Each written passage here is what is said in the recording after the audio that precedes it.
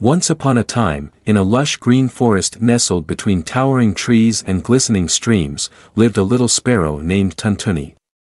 Tuntuni was known for her cheerful chirps and nimble flights, weaving through the branches with grace.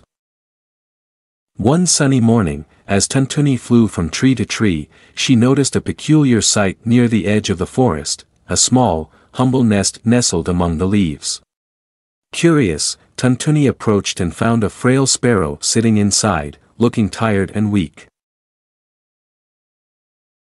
Hello, little friend. What brings you here? Tuntuni chirped cheerfully, the frail sparrow looked up with weary eyes and replied softly, I am Garib, the poor sparrow. I have lost my nest and my family. Now, I have nowhere to go. Tuntuni felt a pang of sadness in her heart.